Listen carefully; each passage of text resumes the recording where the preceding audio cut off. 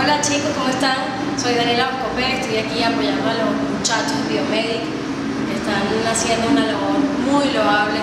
Y bueno, nada, yo les invito a ustedes a que se conviertan en héroes, salvando una vida, donando sangre.